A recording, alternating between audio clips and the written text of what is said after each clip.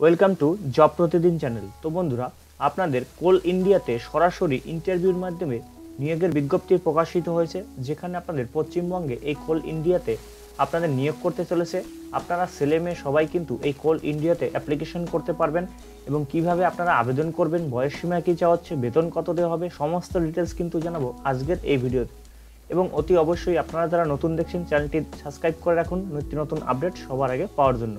তো আজকের ভিডিওতে আপনাদের টোটালটাই দেখাবো কীভাবে আবেদন করবেন। এই কোল ইন্ডিয়াতে কিন্তু একটা চাকরির সুযোগ রয়েছে, এটা কিন্তু কেন্দ্র সরকারের চাকরি, তো এখানে আপনারা আবেদন করতে পারবেন। আপনারা অন স্ক্রিনে দেখতে পাচ্ছেন ভারত সরকারের অধীনস্থ কোল ইন্ডিয়া লিমিটেডের তরফ থেকে বিভিন্ন শূন্য পদে কর্মী নিয়োগ করতে চলেছে। এখানে সরাসরি ইন্টারভিউর মাধ্যমে আপনার নিয়োগ করা হবে। নিয়োগ করা হবে কোল ইন্ডিয়া লিমিটেডের কলকাতার অফিসে তো বুঝতেই পারছেন, কলকাতার অফিসে কিন্তু আপনার নিয়োগ করবে। এখানে অ্যাডভার্টাইজমেন্ট নাম্বারটি দেখতে পাচ্ছেন অন স্ক্রিনে এবং Coal India limited Kolkata recruitment দু হাজার একুশ। তো আপনাদের যেহেতু সরাসরি ইন্টারভিউর মাধ্যমে নিয়োগ করবে, এখানে একটা অ্যাপ্লিকেশন ফর্ম আপনারা দেখতে পাচ্ছেন। এই ফর্মটি আপনাদের ফিল আপ করতে হবে।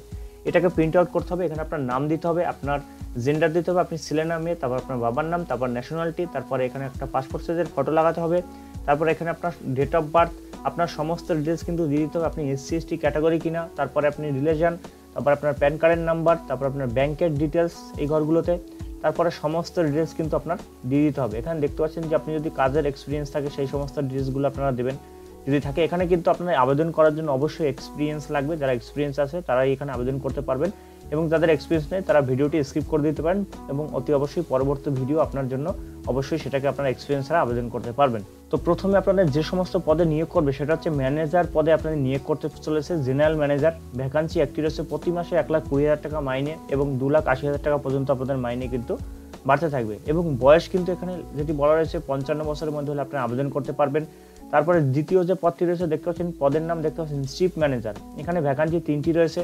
প্রতি মাসে কিন্তু এক লাখ থেকে দু লাখ ষাট হাজার টাকা কিন্তু আপনাদের এখানে মাইনে দেওয়া হবে। তো এর পরের যে পদটি রয়েছে, দেখতে পাচ্ছেন, এটা হচ্ছে চিফ ম্যানেজার পদে নিয়োগ করতে চলছে। ভ্যাকান্সি রয়েছে তিনটি। প্রতি মাসে এক লাখ থেকে দু লাখ ষাট হাজার টাকা আপনাদের মাইনে দেওয়া হবে। বয়স কিন্তু বাহান্ন বছরের মধ্যে চাওয়া হচ্ছে। তারপরে যে পোস্টটি রয়েছে, দেখতে পাচ্ছেন, এটা হচ্ছে সিনিয়র ম্যানেজার ভ্যাকান্সি চারটি। এখানে প্রতি মাসে কিন্তু আপনাদের নব্বই হাজার থেকে শুরু করে দু লাখ চল্লিশ হাজার টাকা কিন্তু মাইনে দেওয়া হবে। বয়স কিন্তু আটচল্লিশ বছরের মধ্যে হতে হবে। তারপরে যে পদটি রয়েছে দেখতে পাচ্ছেন, এটা হচ্ছে ম্যানেজার পদে ভ্যাকান্সি চারটি রয়েছে এবং প্রতি মাসে বেতন কিন্তু আপনাদের দেওয়া হবে। দেখতে পাচ্ছেন যে আশি হাজার থেকে শুরু করে দু লাখ কুড়ি হাজার টাকা অবধি আপনারা এখানে মাইনে পাবেন। তো বুঝতেই পারছেন, তো অনেক মাইনে কিন্তু এখানে রয়েছে। বয়স কিন্তু চুয়াল্লিশ বছরের মধ্যে চাওয়া হয়েছে। এরপরে পদের নাম ডেপুটি ম্যানেজার। এখানে ভ্যাকান্সি পাঁচটি রয়েছে। প্রতি মাসে বেতন কিন্তু সত্তর হাজার থেকে শুরু করে দু লাখ টাকা অবধি আপনাদের এখানে মাইনে দেওয়া হবে।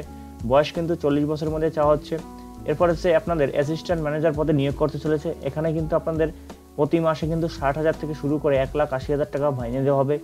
বয়স কিন্তু ছত্রিশ বছরের মধ্যে চাওয়া হয়েছে। এরপরে শিক্ষাগত যোগ্যতা। যে কোনো শাখায় স্নাতক পাস হতে হবে। প্রতিটি পদের জন্য কাজের অভিজ্ঞতা লাগবে। তো আমি প্রথমেই বলে দিয়েছি যে এখানে কিন্তু এক্সপিরিয়েন্স আপনাদের লাগবে। কমপক্ষে চার থেকে পঁচিশ বছর পর্যন্ত কাজের অভিজ্ঞতা থাকতে হবে। অভিজ্ঞতা অনুসারে বিভিন্ন পদে নিয়োগ করা হবে। আইন বিষয়ে স্নাতক এবং স্নাতকোত্তর ডিগ্রি থাকলে অগ্রাধিকার দেওয়া হবে। তো আইন বিষয় যদি থাকে, তাহলে আবেদন করতে পারবেন। একজন প্রার্থী কেবল একটি পদের জন্য আবেদন করতে পারবেন। এরপর আছে আবেদন পদ্ধতি। আবেদন করতে হবে অফলাইনের মাধ্যমে। আবেদনপত্র পূরণ করে সঙ্গে প্রয়োজনীয় নথি সংযুক্ত করে স্পিড পোস্টের মাধ্যমে নিম্নলিখিত ঠিকানায় পাঠাতে হবে। এখানে দেখতে পাচ্ছেন, এবং আরও এক কপি আপনাদের কিন্তু এই যে ইমেল আইডি দেখতে পাচ্ছেন। আপনাদের কী করতে হবে? এক কপি আপনাদের স্পিড পোস্টের মাধ্যমে পাঠাতে হবে, এবং এই যে ইমেল আইডিটি দেখতে পাচ্ছেন, এই ইমেল আইডিতে আপনাদের কী করতে হবে? এটাকে স্ক্যান করে এক কপি তাদের কাছে পাঠিয়ে দিতে হবে। এই ইমেল আইডিতে পাঠিয়ে দিতে হবে, এবং আবেদনপত্র পাঠানোর শেষ তারিখ উনিশে এপ্রিল পর্যন্ত কিন্তু লাস্ট ডেট রয়েছে। আবেদনপত্র ডাউনলোড করতে পারবেন। দেখতে পাচ্ছেন যে কোল ইন্ডিয়ার অফিসিয়াল ওয়েবসাইট রয়েছে, এই অফিসিয়াল ওয়েবসাইটে গিয়ে এবং কীভাবে ডাউনলোড করবেন সেটাও আমি দেখিয়ে দেবো। অন স্ক্রিনে আপনারা দেখতে পাচ্ছেন, এটা হচ্ছে যে আপনাদের আবেদনপত্র পাঠানোর যে ঠিকানাটা, এখানে কিন্তু টোটাল কিন্তু স্টেপ বাই স্টেপ দেওয়া আছে। এই যে অ্যাড্রেসটি দেখতে পাচ্ছেন, এই অ্যাড্রেসে কিন্তু আপনাদের কি করতে হবে, যে ফর্মটি আমি দেখালাম, সেই ফর্মটি আপনাদের ফিল আপ করতে হবে। ফিল আপ করে কিন্তু পাঠিয়ে দিতে হবে। এখানে দেখতে পাচ্ছেন আপনাদের সংক্ষিপ্ত তালিকাভুক্ত প্রার্থীর নাম অফিসিয়াল ওয়েবসাইটে জানিয়ে দেওয়া হবে। এবং প্রার্থীর ব্যক্তিগত ইমেলের মাধ্যমে ইন্টারভিউর ঠিকানা, তারিখ এবং সময় জানিয়ে দেওয়া হবে। তো বুঝতেই পারছেন, এখানে কিন্তু আপনাদের ইন্টারভিউর তারিখ এবং সময় আপনার যে ফর্মটা দেবেন, সেখানে যে ইমেল আইডি দেবেন বা এই যে ইমেলে যে আপনি যে ফর্মটি পাঠাবেন, সেই ইমেলেই কিন্তু আপনাকে কি করতে হবে? সেই ইমেলেই কিন্তু আপনাকে জানিয়ে দেওয়া হবে কবে ইন্টারভিউ হবে। রাজ্য এবং কেন্দ্র সরকারের বিভিন্ন চাকরির আপডেট পেতে অতি অবশ্যই আমাদের এই চ্যানেলটি সাবস্ক্রাইব করে রাখুন, তাহলে আপনারা সমস্ত ডিটেলস পেয়ে যাবেন। এরপরে এসে দেখতে পাচ্ছেন ডাউনলোড অ্যাপ্লিকেশন ফর্ম আপনারা ভিডিও ডিসক্রিপশন বক্স ফলো করবেন, যেখানে আমরা আপনাদের অফিসিয়াল বিজ্ঞপ্তি এবং এই যে ফর্মটি দেখতে পাচ্ছেন, যে ফর্মটি ফিল করে আপনাদের স্পিড পোস্টের মাধ্যমে পাঠাতে হবে এবং সাথে সমস্ত ডকুমেন্ট আপনার কিন্তু দিয়ে দিতে হবে। আপনার যে সমস্ত কোয়ালিফিকেশান রয়েছে এবং সমস্ত ডিটেলস দিয়ে কিন্তু আপনাকে কী করতে হবে স্পিড পোস্টের মাধ্যমে যে ঠিকানা বললাম, সেই ঠিকানায় পাঠিয়ে দিতে হবে। এবং অতি অবশ্যই আপনি স্পিড পোস্ট করার পরে আপনি সেটার এক কপি রেখে দেবেন, সেই এক কপি কিন্তু এই ইমেল নাম্বারে পাঠিয়ে দিতে হবে। তাহলে এখানে আপনাদের অ্যাপ্লিকেশন কমপ্লিট হয়ে যাবে। তো আপনাদের ভিডিওটি কেমন লাগল অতি অবশ্যই জানাবেন একটা লাইক করে, কারণ একটা লাইক করলে আমাদের ভিডিও বানাতে আমরা উৎসাহ পাই। এবং অতি অবশ্যই আপনার বন্ধুদের ভিডিওটি শেয়ার করে দিন। এবং আপনি নতুন হয়ে থাকলে চ্যানেলটি সাবস্ক্রাইব করুন, নিত্য নতুন আপডেট সবার আগে পাওয়ার জন্য।